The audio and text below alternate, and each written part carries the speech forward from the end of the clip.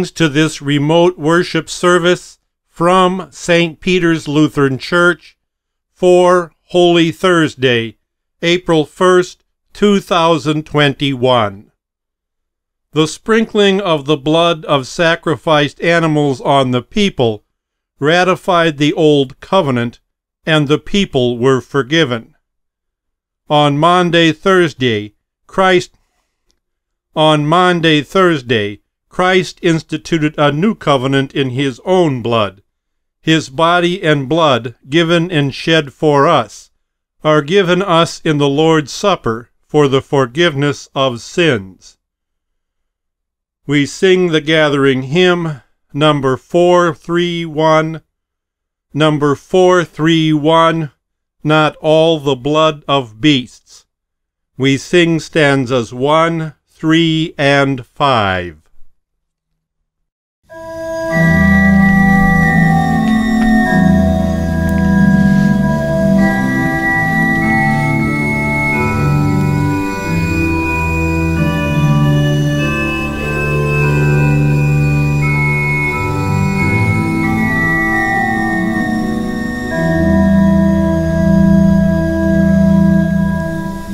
Not all the blood of beasts on Jewish altars slain could give the guilty conscience peace or wash away the stain. My flesh would lay its hand on that dear head of thine, while as a penitent I stand and there confess my sin. Believing we rejoice to see the curse removed. Why he bless the Lamb with cheerful voice and sing his bleeding love.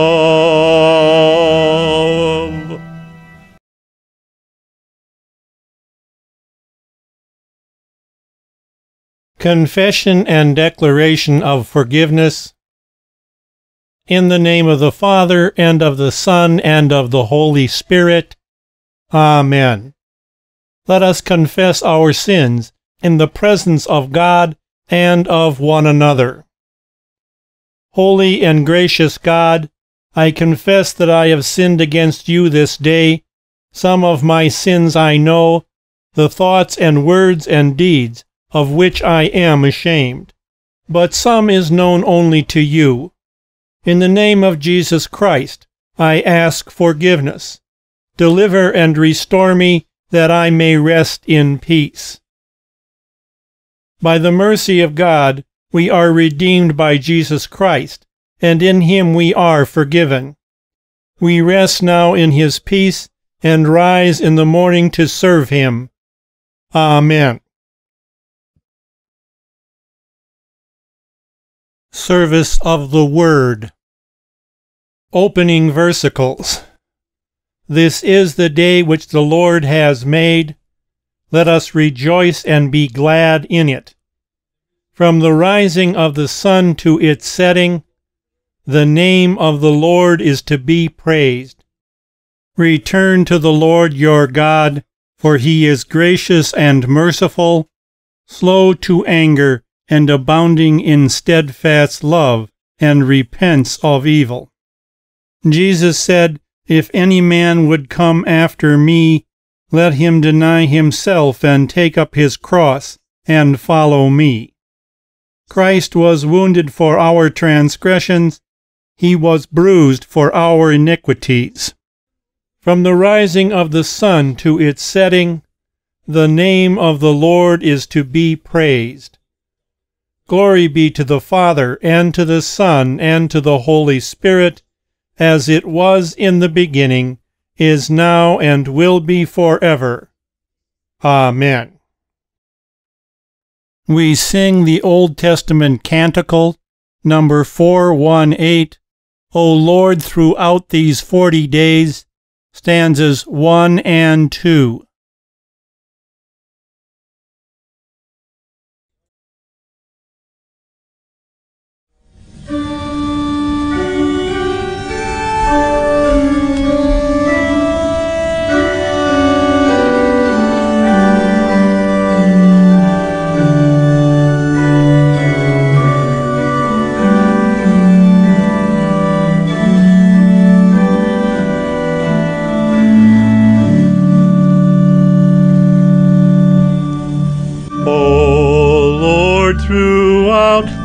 These forty days. You prayed and kept the fast. Inspire repentance for our sins and free us from our past. You strove with Satan and you won your faithfulness endured. Lend us your nerve, your skill and trust in God's eternal word.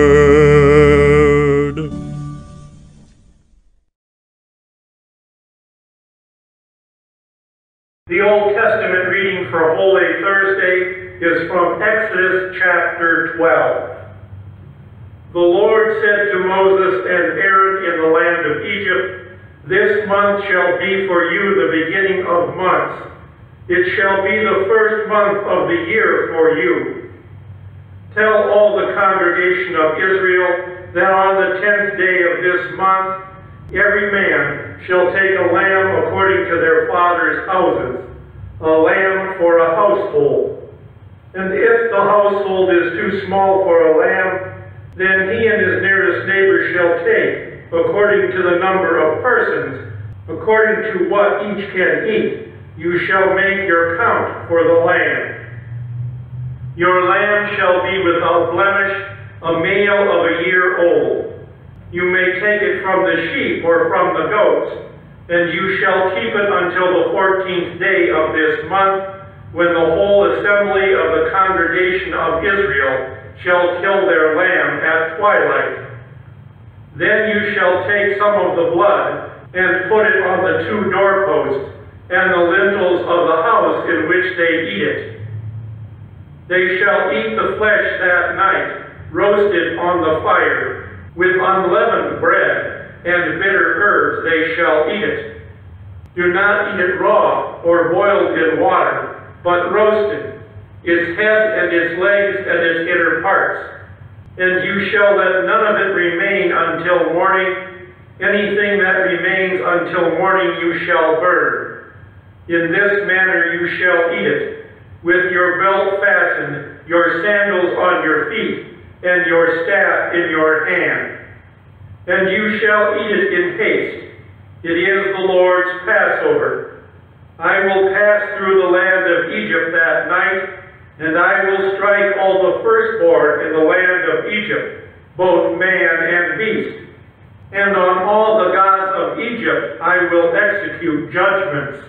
I am the Lord. The blood shall be a sign for you on the houses where you are. And when I see the blood, I will pass over you, and no plague will befall you to destroy you when I strike the land of Egypt. This shall be for you a memorial day, and you shall keep it as a feast to the Lord throughout your generations as a statute forever. This ends the Old Testament reading. The epistle reading is from 1 Corinthians chapter 7. For I received from the Lord what I also delivered to you, that the Lord Jesus, on the night when he was betrayed, took bread, and when he had given thanks, he broke it and said, This is my body which is for you. Do this in remembrance of me. In the same way also he took the cup after supper, saying, This cup is the new covenant in my blood. This do as often as you drink it in remembrance of me. For as often as you eat this bread and drink this cup, you proclaim the Lord's death until he comes. Whoever therefore eats the bread or drinks the cup of the Lord in an unworthy manner, in an unworthy manner, will be guilty of profaning the body and blood of the Lord. Let a person examine himself then, and so eat of the bread and drink of the cup. For anyone who eats and drinks without discerning the body eats and drinks judgment on himself. That is why many of you are weak and ill, and some have died. But if we judge ourselves truly, we would not be judged. But when we are judged by the Lord, we are disciplined so that we may not be condemned along with the world. This ends the epistle reading. The Holy Gospel according to Mark, the 14th chapter. And on the first day of unleavened bread, when they sacrificed the Passover lamb, Jesus' disciples said to him, Where will you have us go and prepare for you to eat the Passover? And he sent two of his disciples and said to them, Go into the city, and a man carrying a jar of water will meet you Follow him, and wherever he enters, say to the master of the house, The teacher says, Where is my guest room, where I may eat the Passover with my disciples? And he will show you a large upper room, furnished and ready. There prepare for us. And the disciples set out and went to the city, and found it just as he had told them and they prepared the Passover. And when it was evening, he came with the twelve. And as they were reclining at table and eating, Jesus said, Truly I say to you, one of you will betray me, one who is eating with me. And they began to be sorrowful and to say to him, one after another, Is it I? He said to them, it is one of the twelve, one who is dipping bread in the dish with me.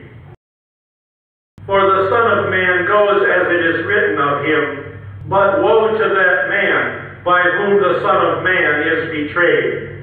It would be better for that man if he had not been born.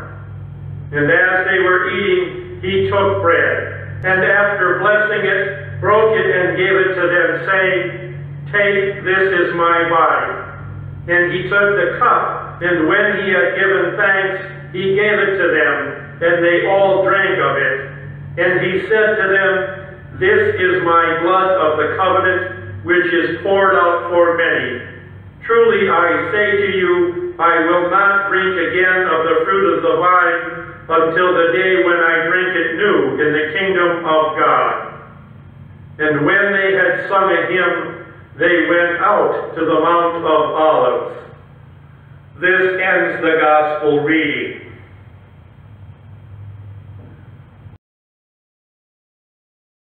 Catechesis Responsory We have an advocate with the Father, Jesus Christ, the righteous one.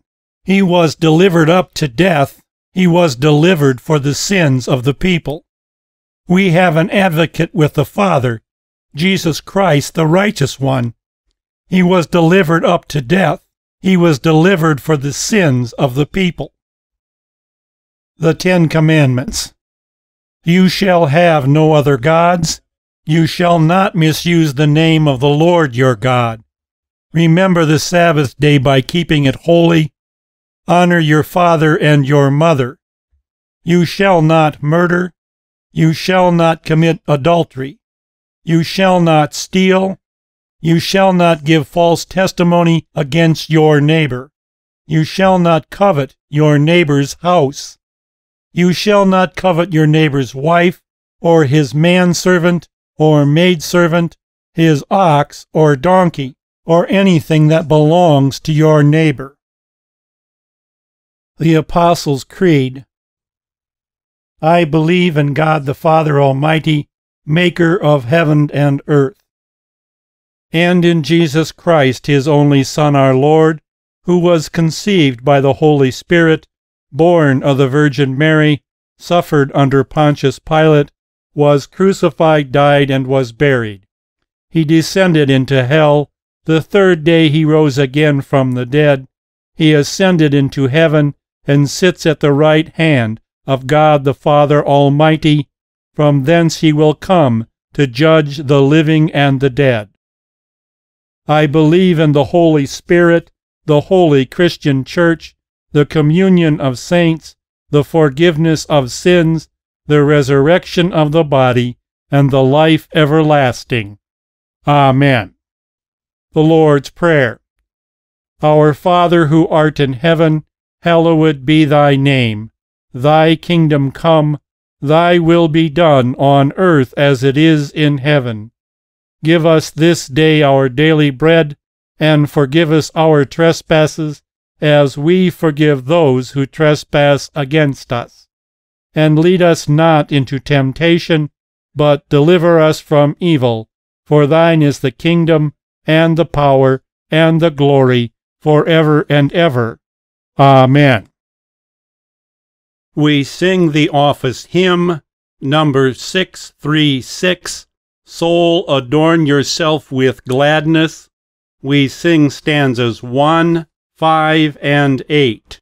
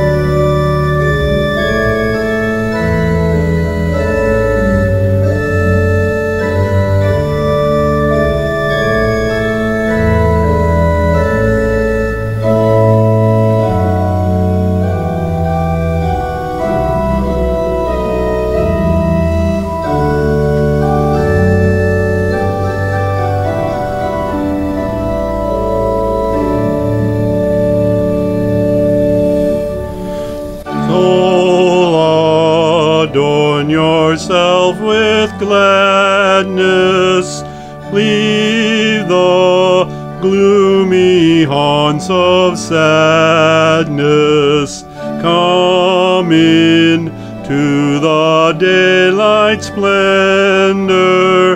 There with joy your praises render.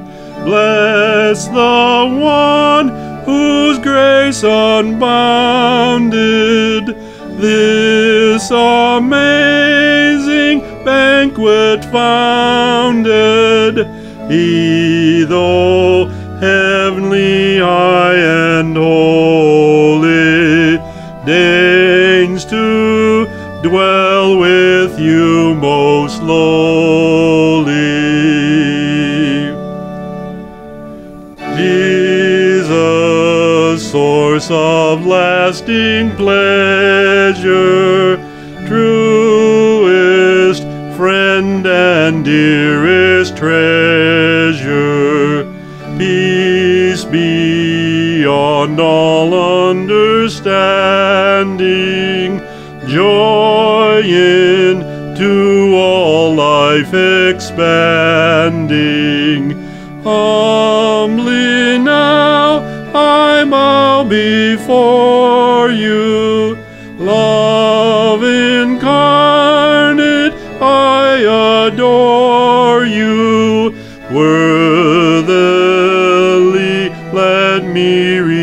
receive you, and so favored never leave you.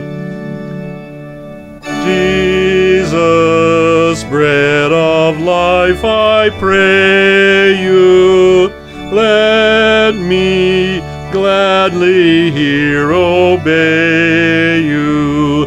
By your I am invited. By your love with love requited. By this supper let me measure, Lord, how vast and deep love's treasure. Through the gifts of grace you give me, as your guest in heaven receive me.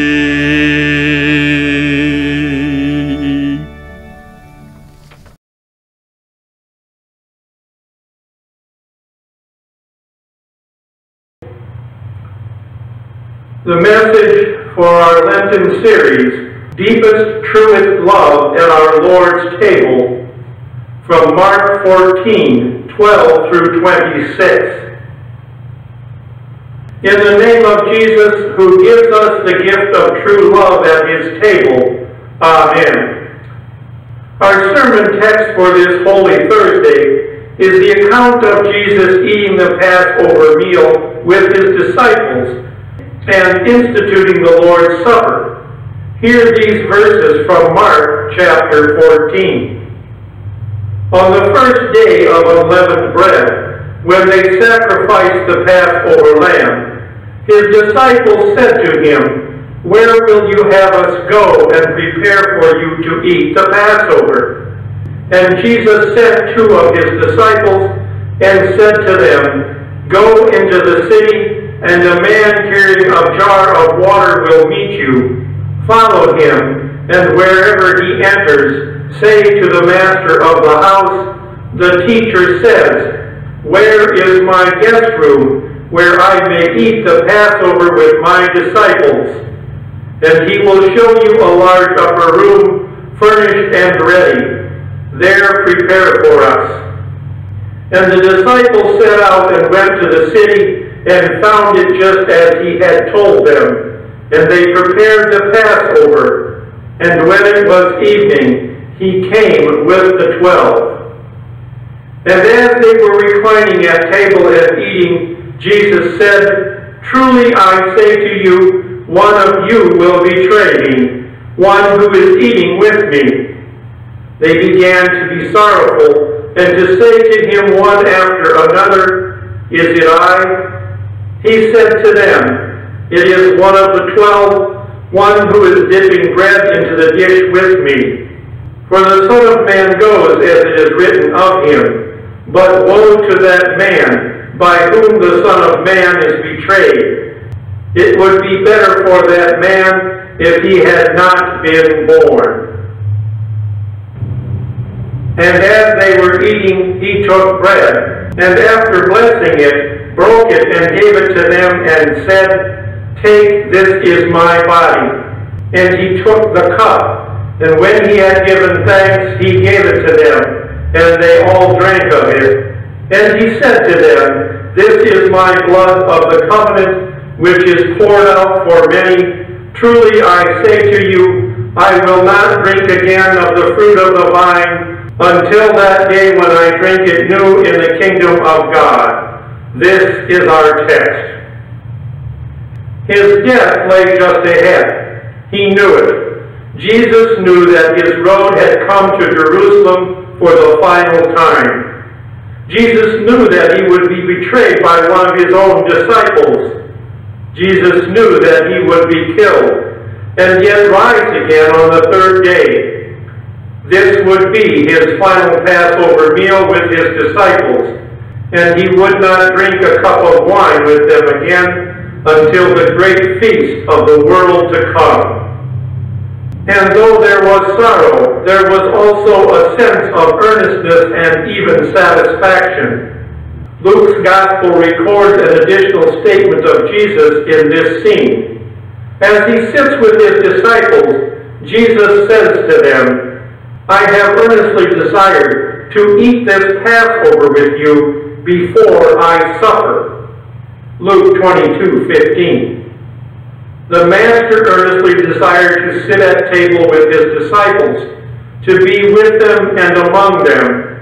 Jesus had been earnestly desiring to share this meal with them, and earnestly desiring to institute a new meal among them, the life-giving feast of his true body and blood. It is a feast of love. There is something wonderful about being the host at a great meal, something exciting and satisfying at a deep level. Maybe that's why some people dream of opening their own restaurant. And there's something wonderful about being hosted by a host who really wants to be hosting you. You've probably had the experience of being in a restaurant where the owner works there and really enjoys visiting with the guests and making sure they feel welcome and have what they need.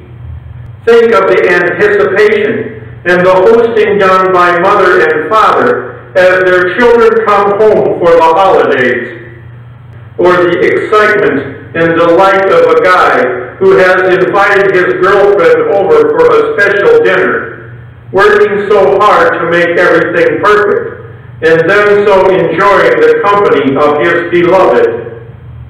On this night in Jerusalem, Jesus was not just hosting any meal, he and his disciples were eating together the ancient Jewish Passover meal which already at that time had been celebrated among God's people for 1500 years. Passover commemorated God's mighty rescue of his people from slavery in Egypt, finally striking down the firstborn in the home of the Egyptians, but mercifully passing over the blood-marked homes of the Israelites. It commemorated the time in history when God brought them out from Pharaoh's tyranny so that God himself might come and dwell among them.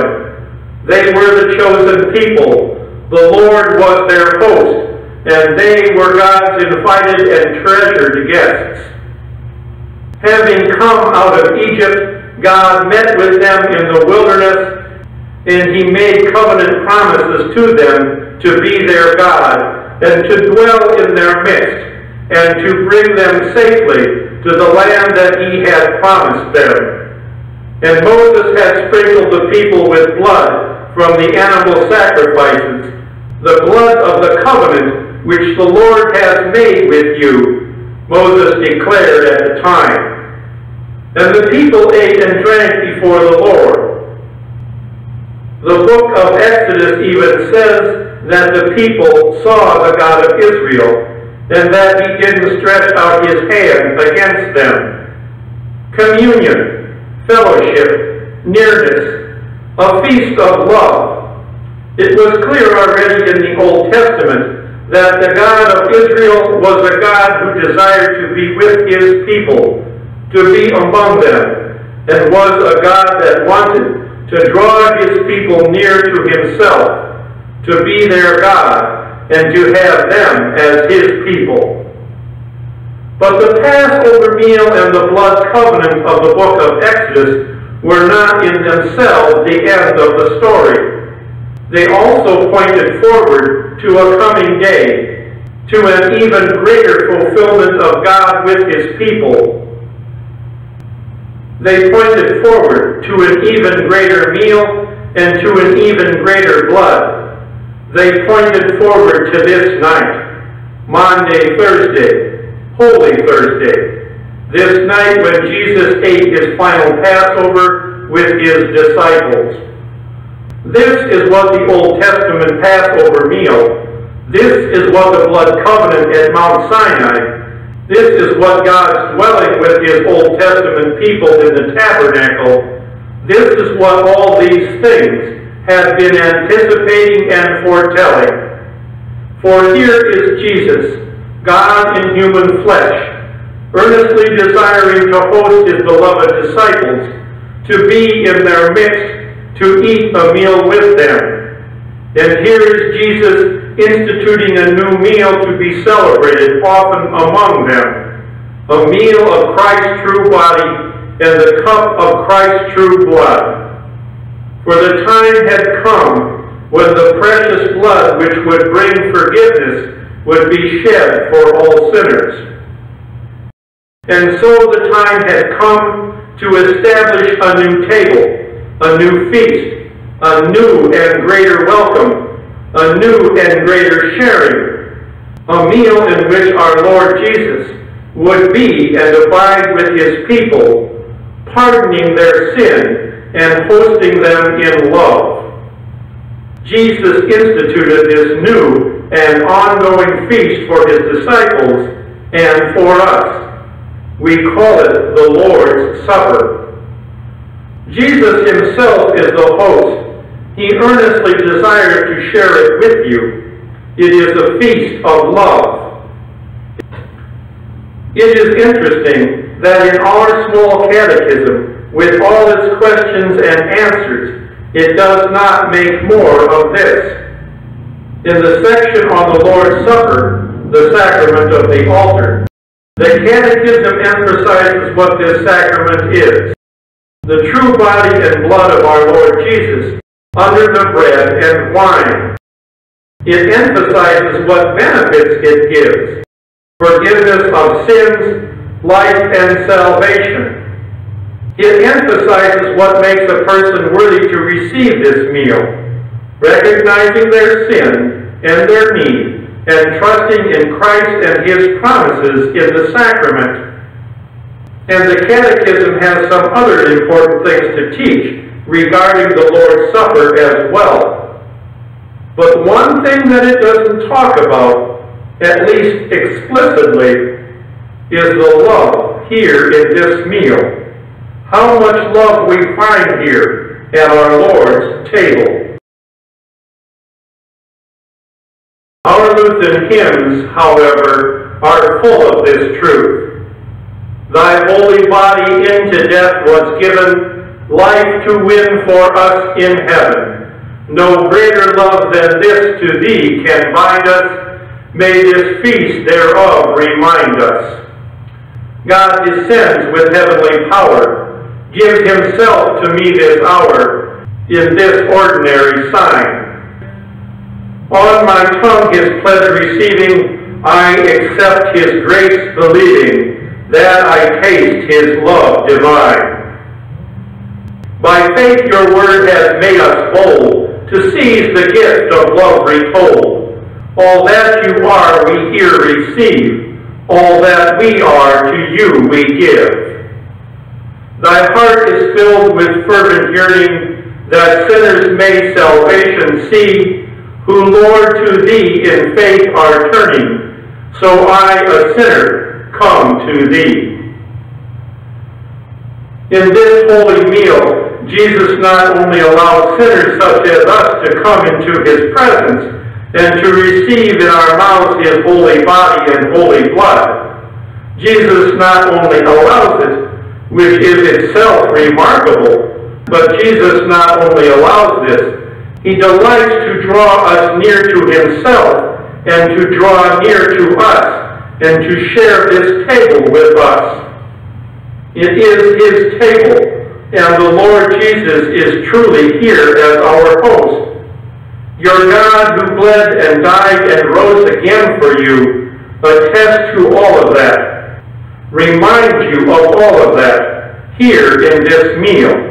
He meets you here. He, the host. You, the guest. It is a feast of love. Throughout this season of Lent, we have been tracing the dimensions of God's enormous love and mercy for us in Christ. On this Holy Thursday, consider this. Because God is so rich in mercy, He gave you in Jesus Christ something that everyone in the world is searching for, something that we all long for, something that the poets have written about and singers have sung about for millennia. True love. True love is not just the stuff of fairy tales or sappy movies. True love is what we were created for, and what we will enjoy forever in the age to come. True and perfect love. A genuine connectedness to another, being known, being welcomed, belonging, being enjoyed, being cherished, being delighted over. Thanks be to God for all the love that we are shown by others in this life. That too is a gift from His hand. But true and perfect love in this sin-warped world is found for us in Jesus. And it is here at this table and in this meal that our Lord Jesus meets us with all that love. This is not mere sentimentalism or romanticism, though there is plenty of both of those things in knowing Jesus' love. This sacrament is what you need and what you long for, true love. And what is amazing is that you have a God who earnestly desires your love too, and he calls you near to himself tonight and forever. That night Jesus said to his disciples, Truly I say to you, I will not drink again of the fruit of the vine until that day when I drink it new in the kingdom of God. That's Mark's word. Matthew's gospel records Jesus' words in this way. I tell you, I will not drink again of this fruit of the vine until that day when I drink it new with you in my Father's kingdom. Just a nibble of bread, which is Jesus' body, just a sip of wine, which is Jesus' blood. It's really not much of a meal, but in these small tastes, Jesus gives you his enormous love, along with his pardon, his life, and his salvation.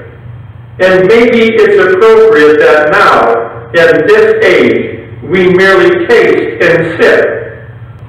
For this meal and this moment of Jesus' presence and love in the Lord's Supper are a taste, a foretaste of the coming age, when we will see him with our eyes and we will dine as guests, as most welcome guests at his table forever.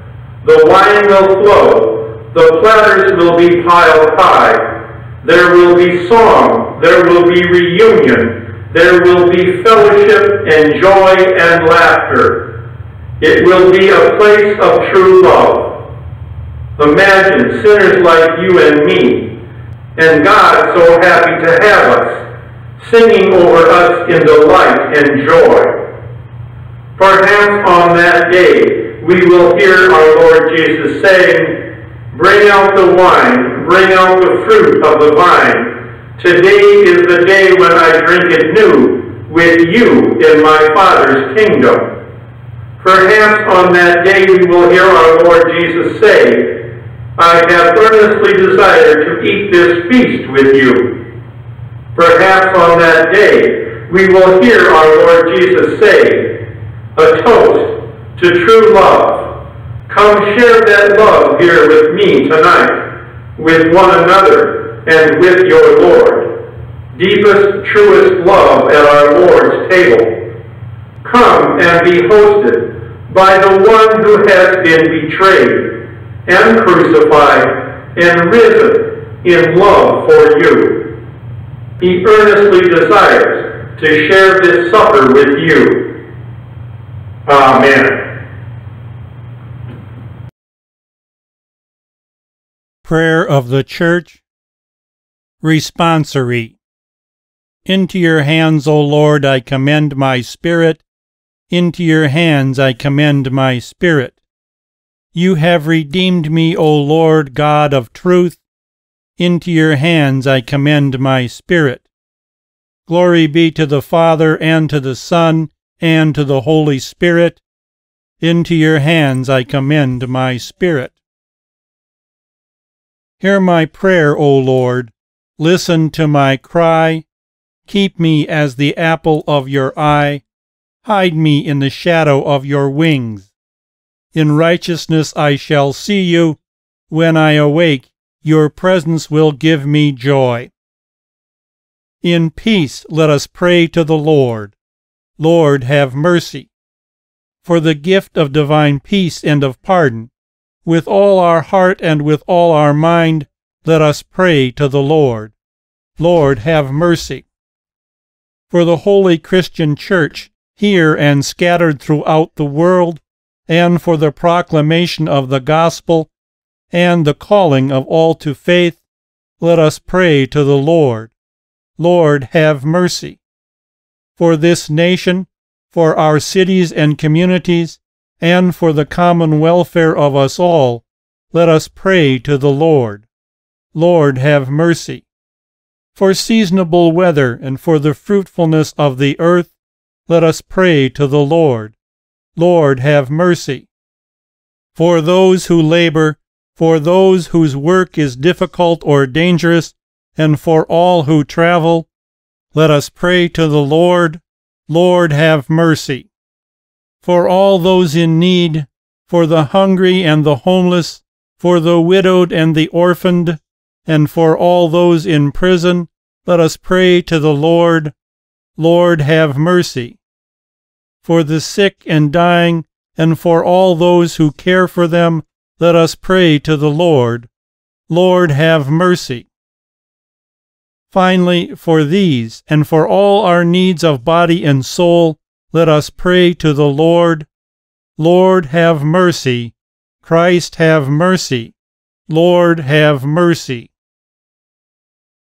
Almighty and everlasting God, you sent your Son, our Savior, Jesus Christ, to take upon himself our flesh and to suffer death upon the cross mercifully grant that we may follow the example of his great humility and patience and be made partakers of his resurrection through the same Jesus Christ our Lord, who lives and reigns with you and the Holy Spirit, one God, now and forever.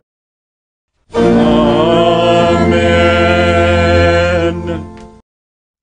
Blessed Lord, you have caused all holy scriptures to be written for our learning grant that we may so hear them, read, learn, mark, and take them to heart, that by the patience and comfort of your holy word we may embrace and ever hold fast the blessed hope of everlasting life through Jesus Christ, your Son, our Lord, who lives and reigns with you and the Holy Spirit, one God, now and forever. Amen. I thank you, my heavenly Father, through Jesus Christ, your dear Son, that you have graciously kept me this day, and I pray that you would forgive me all my sins where I have done wrong, and graciously keep me this night. For into your hands I commend myself, my body and soul, and all things. Let your holy angel be with me, that the evil foe may have no power over me. Amen. The Triduum Service Maundy Thursday's service ends with the prayer of the Church to be picked up with the opening versicles of the Good Friday service.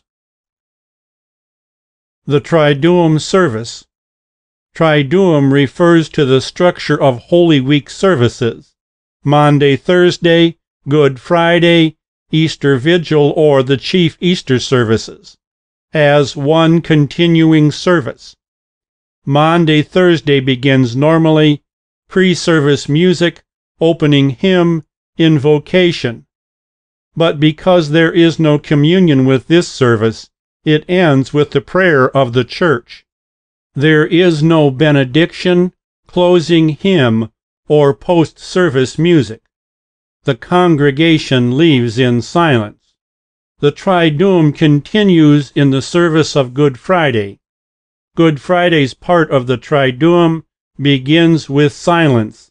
There is no prelude, greeting, opening hymn, invocation, introit, or confession and absolution. The entire service is the service of the Word, the center part of a normal service. beginning with the opening versicles and ending with the prayers. Again, there is no benediction, closing hymn, or post service music, and the congregation leaves in silence. The Triduum continues with the Easter service. Another tradition of the Lenten season that continues into Holy Week is the use of the declaration of grace rather than of an absolution in answer to the confession of sins during the time from Ash Wednesday through Good Friday.